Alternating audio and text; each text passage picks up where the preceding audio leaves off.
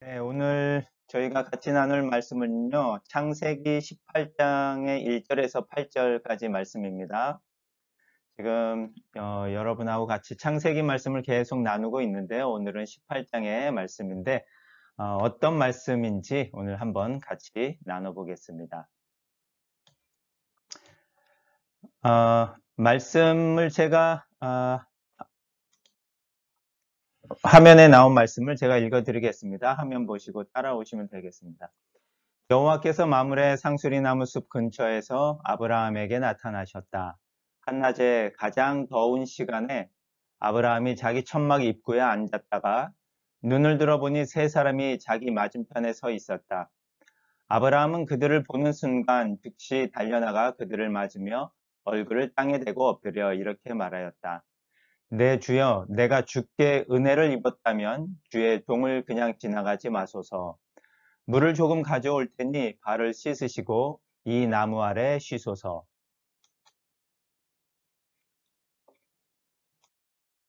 내가 먹을 것을 가져오겠습니다. 이왕 종에게 오셨으니 음식을 잡수시고 힘을 얻으신 다음에 갈 길을 가소서.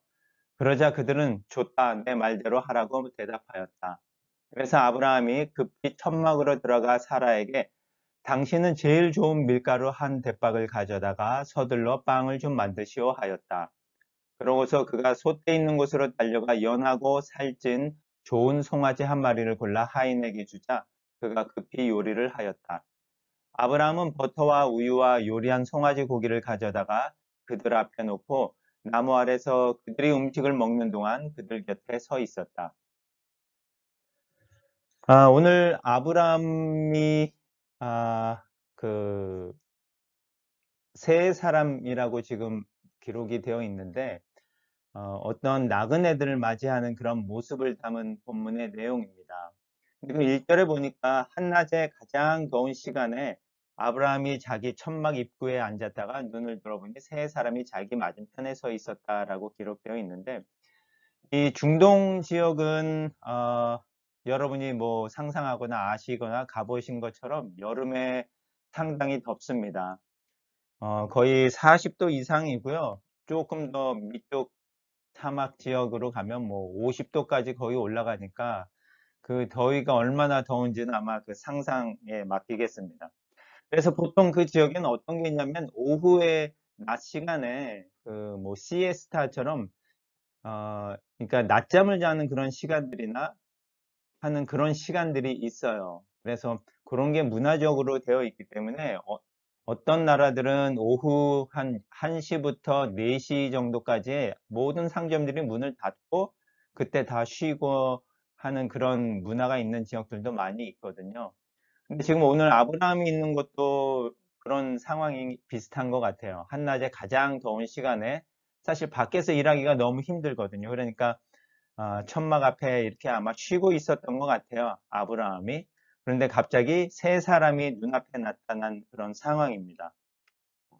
그때 아브라함이 그들을 보면서 순간 즉시 날려, 아, 달려나가 그들을 맞으며 얼굴을 땅에 대고 엎드려서 그 사람들을 맞이하는 그런 모습을 볼 수 있는데 어떻게 보면은 그 세 사람이 그냥 일반적인 사람일 경우도 있겠지만 또 그에 못지않게 뭔가 특별한 의미를 담고 있는 그런 사람일 수도 있겠다라는 그런 생각도 해봅니다. 뭐 사실 어, 19장이나 18장 후반에서 보면 그 세 사람이 하나님이 보낸 어, 천사의 개념이거나 아니면은 삼위일체 하나님의 그런 모습을 좀 어, 보여주는 어, 내용도 담겨져 있는 부분인 거거든요.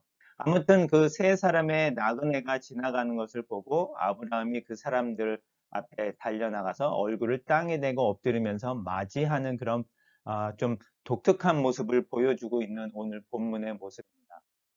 그러고서는 아브라함이 이제 그 사람들한테 이렇게 얘기를 합니다. 물을 조금 가져올 테니 발을 씻으시고 이 나무 아래 씻어서 내가 먹을 것을 가져오겠습니다. 이왕 종에게 오셨으니 음식을 잡수시고 힘을 얻으신 다음에 갈 길을 가소서. 일반적으로 지나가는 나그네들을 뭐 이렇게 잘 대접하는 그런 문화들이 있는 지역인 거예요. 그런데 이제 아브라함이 그거에 더해서 뭔가 좀 의미를 담고 그 사람들을 대접하는 모습을 볼 수 있는데 물을 조금 가져올 테니 발을 씻으시고 라는 그 사절의 첫 번째 내용을 보면 사실 그 지역은 뭐 이렇게 나무나 풀이 우거져 있는 지역들은 아니거든요. 나무들이 뭐 듬성듬성 있고 바위산이 있고 그러니까 광야처럼 사실 어 그 흙들이 더 많은 지역입니다. 그리고 신발이 뭐 지금 우리가 신는 신발처럼 그런 어 좋은 신발을 더, 어 신고 다니는 것도 아니고 그 당시에는 거의 뭐 이런 우리가 지금 소위 말하는 샌들 같은 신발들을 신고 다니다 보니까 사실 그 발에 그런 흙 먼지들이 많이 묻을 수밖에 없어서 그 지역의 문화가 집에 오면은 발을 물로 깨끗이 씻는 그런 문화들이 다 있거든요. 그래서 물을 가져와서 발을 씻고 그 큰 나무 아래 그늘 아래서 좀 쉬고 계시면 음식을 가져오겠다라고 하는 그런 아브라함의 아, 제안입니다. 그래서 아브라함이 급히 천막으로 들어가서 아내 사라에게 그 조, 제일 좋은 밀가루를 가져다가 빵을 만들라고 얘기하고 또 소떼가 있는 곳에 가서 아주 살찐 송아지를 아, 잡아서 급히 요리를 하라고 얘기를 합니다. 사실 이 어, 밀가루로 빵을 만들고 요리하는데 뭐 적지 않은 시간들이 들어갈 거예요. 우리가 뭐 음식을 해 보셔서 아시겠지만 그런 시간들을 다 감안해도 뭐 한두 시간은 좋게 걸릴 그런 시간들인데 그렇게 뭐 서둘러서 음식을 준비하고 하는 아브라함의 모습을 볼 수 있습니다. 그리고 마침내 아브라함이 버터와 우유와 또 요리한 송아지 고기를 가져다가 그 사람들 앞에 놓고 나무 아래서 그들이 음식을 먹는 동안 그 사람들 옆에 서 있는 그런 모습을 봅니다.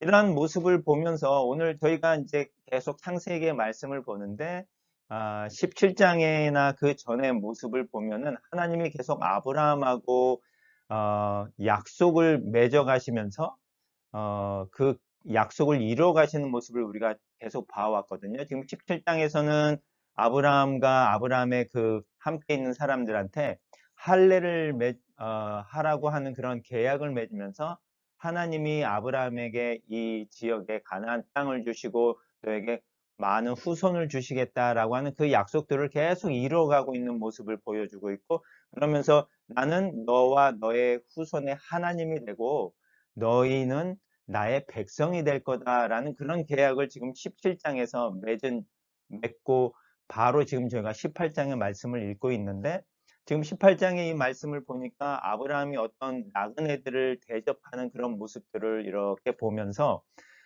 어, 그런 생각을 해봤어요. 하나님의 백성이 어떻게 살아야 되는지에 대한 부분을 아브라함이 지금 18장에서 이렇게 보여주고 있지 않나 하는 그런 생각을 해봅니다. 그래서 아브라함이 지금 그 사람들이 음식을 먹고 있는 그 옆에 서서 마치 그 시중을 들어주는 하인처럼 손에 뭐 이런 어, 수건 같은 거를 아마 들고 서 있지 않았을까. 발을 물을 아, 발을 물에 이렇게 깨끗이 씻고 난 이후에 그런 수건으로 닦고 하면서 그 옆에서 그 세 사람을 시중 들고 있는 어, 그런 모습을 보면서 아브라함의 그런 어, 나그네에 대한 사랑과 또 섬김의 모습을 보면서 하나님의 백성들이 어, 어떻게 살아가야 되는지 그 실천하는 모습을 좀 아브라함이 지금 17장 이후에 하나님의 백성으로서의 삶의 모습을 보여주고 있다라는 그런 생각을 한번 해봤습니다.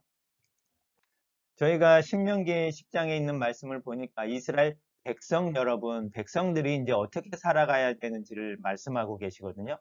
하나, 하나님 여호와께서 여러분에게 요구하시는 것이 무엇입니까? 라고 말합니다. 17장에서 하나님이 그 아브라함과 자손들하고 어떤 관계를 맺었냐면 하나님과 하나님의 백성의 관계를 맺었거든요.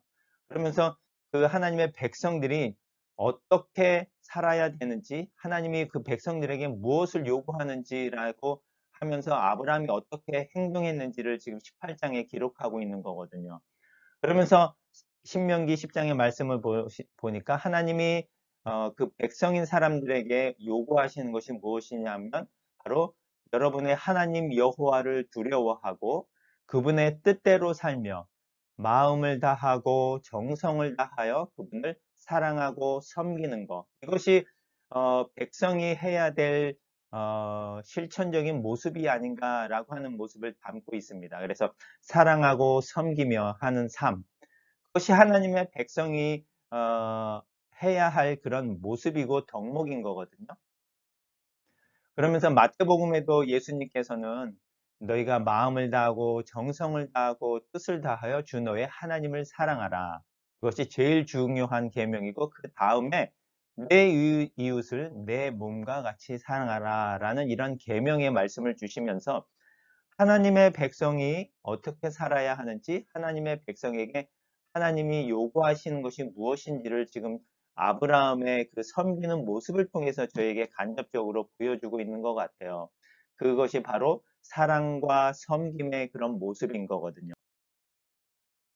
히브리서의 말씀도 보니까 나그네를 대접하는 일을 잊지 마십시오. 어떤 사람들은 나그네를 대접하다가 자기도 모르는 사이에 천사를 대접하였습니다. 라는 그런 말씀이 있습니다. 지금 아브라함은 겉으로 보기에는 그냥 지나가는 세 사람의 나그네처럼 보이지만 그 사람들을 아주 지극정성으로 어, 잘 섬기고 또 대접하고 사랑하는 그런 모습을 보여줬거든요. 실질적으로는 그 세 사람이 사실 하나님의 천사고 하나님의 모습을 담고 있는 사람들이거든요. 바로 18장 이후에 보면 그 모습이 나타나는데 자기도 모르는 사이에 열심히 대접하는데 그 사람들이 하나님이 보내신 천사인 경우들이 많이 있다라는 거죠.